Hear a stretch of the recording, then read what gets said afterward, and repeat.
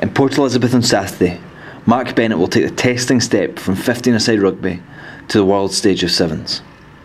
With his first opportunity to pull on the abbreviated national team jersey, the 20 year old centre can't wait to try himself out in the space Sevens has to offer.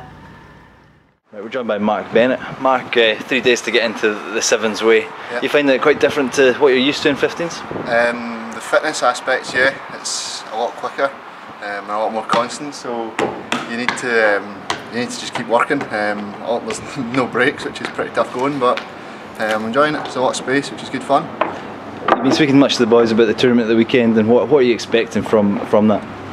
Now, well, they they did a good performance last week, so it's one that we're looking to build on. Um, we're in a tough group yet, but it's one that we think that if we, we play to our potential, we can we can do well in.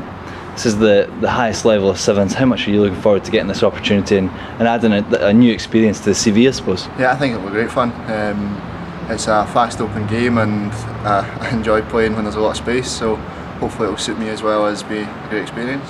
Wish you all the best in your first chance. Thank you.